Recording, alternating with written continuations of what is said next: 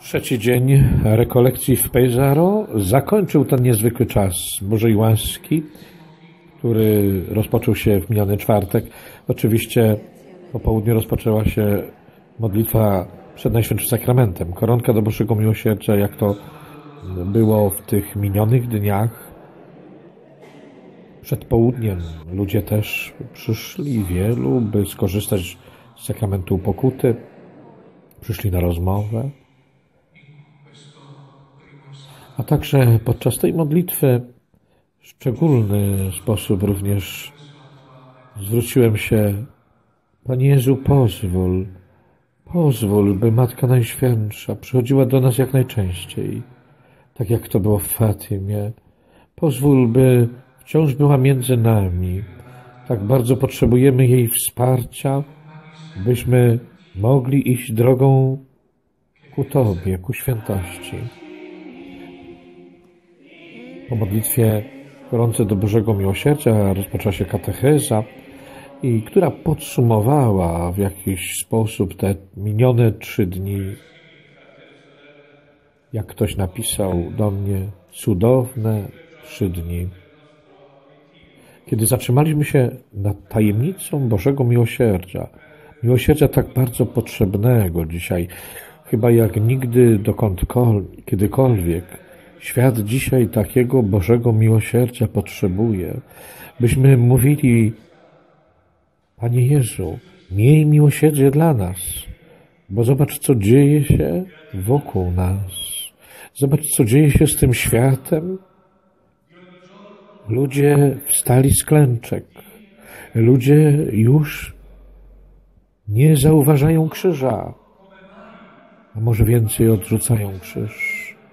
Zwracamy się z prośbą o przebaczenie, Panie bo Twoje przebaczenie. My musimy błagać o to wybaczenie, nie tylko za nas, za innych, bo to przebaczenie gwarantuje naszą przyszłość. Rozpoczęła się później oczywiście modlitwa z błaganiem przed Najświętszym Sakramentem o, o uzdrowienia, o uwolnienia, a po tej modlitwie, jak zawsze, podniosłem relikwie świętego ojca Szarbela, ale nim uczyniłem to, zwracając się do świętego ojca Szarbela, prosiłem szczególnie, byśmy się modlili za kapłanów. Aby kapłani byli mocni wiarą, mocni miłością, o nowe liczne powołania do kapłaństwa, jak zawsze uniosłem relikwię świętego Szarbela, mówiąc o święty ojcze Szarbelu, ty, który przez 23 lata żyłeś w ubóstwie, tam w pustelni Walnaja, żyłeś w samotności, który pozostawiłeś wszelkie przyjemności tego świata i żyłeś właśnie pełnym zjednoczeniu z Jezusem. Prosimy Cię, święty Ojcze, wstaw się za tymi braćmi i siostrami. Po tej modlitwie błogosławieństwo indywidualne, namaszczenie olejem. Pewnie na zakończenie tych dni tylu ludzi właśnie otrzymało też łaskę spoczynku w Duchu Świętym.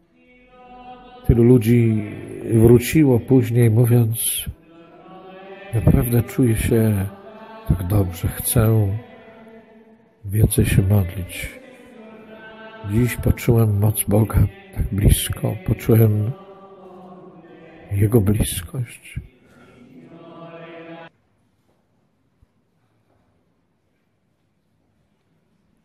A na koniec patronka dnia dzisiejszego patronka święta Teresa, błogosławieństwo i relikwiami, które ksiądz proboszcz otrzymał właśnie tam z miejsca, gdzie jest złożone, gdzie są złożone jej doczesne szczątki. Później Ci, którzy byli obecni, mogli ucałować tę relikwię, oddać w szczególny sposób cześć świętej Teresie, która, jak wiemy, jest patronką misji.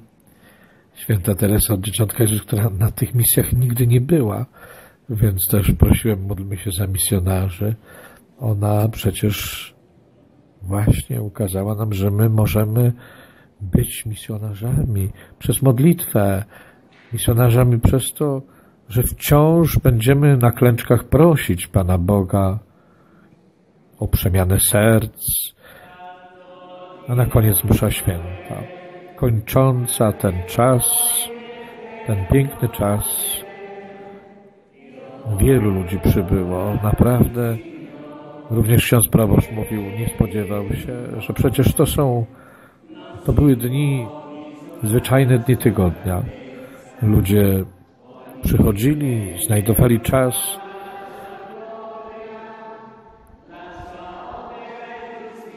Msza święta już oczywiście była z dzisiejszej niedzieli. No to również tej niedzieli, kiedy wspominamy również aniołów stróżów, więc szczególnie żeśmy prosili, aby i o to proszę, by każdy dzisiaj podziękował świętemu aniołowi stróżowi, że się tyle stara, że się opiekuje, że współcierpi, kiedy człowiek odchodzi od Chrystusa, że ten anioł tak często spogląda na Jezusa i mówi i błaga za każdym, którym się troszczy, żeby mu jeszcze trochę czasu dać. Tak jest wciąż blisko ten święty anioł stróż. Módlmy się do Niego, dziękujmy Mu dzisiaj.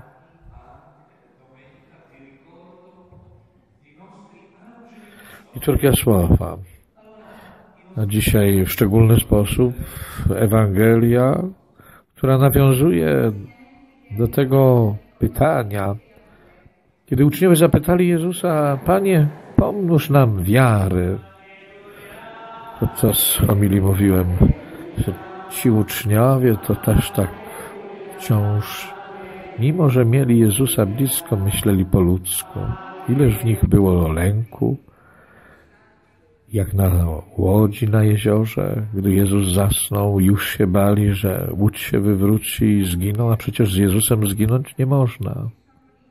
Ileż w nich było obaw, niedowiarstwa, gdy Jezus mówi, zarzućcie sieci, a przecież tam nic nie ma.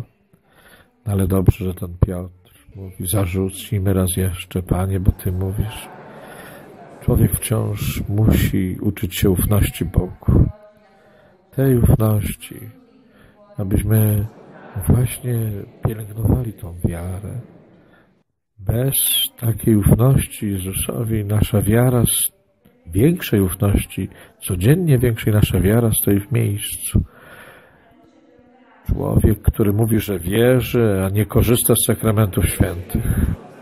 Człowiek, który mówi, że wierzy, a nie uczestniczy w tym niezwykłym spotkaniu Eucharystii, to jakby zatrzymał się w tym wzrastaniu wierze, bo przecież wzrastać to wciąż iść do Jezusa, zbliżać się coraz bliżej i przyjmować Go do serca z większą świadomością, i z większą miłością.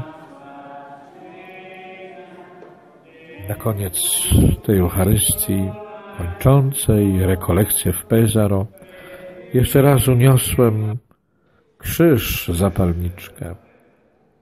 Ten krzyż, który zakupiłem kilka lat temu w Neapolu od młodzieńca, który sprzedawał takie krzyże, zapalniczki. Mówię, przestań. Kupiłem taki krzyż, pobłogosławiłem.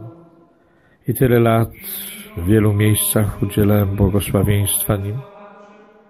Przepraszaliśmy kiedyś w Meczugorje, na ołtarzu ten krzyż położyłem i błagaliśmy o przebaczenie. I dziś ten krzyż tak symbolizuje działanie łaski.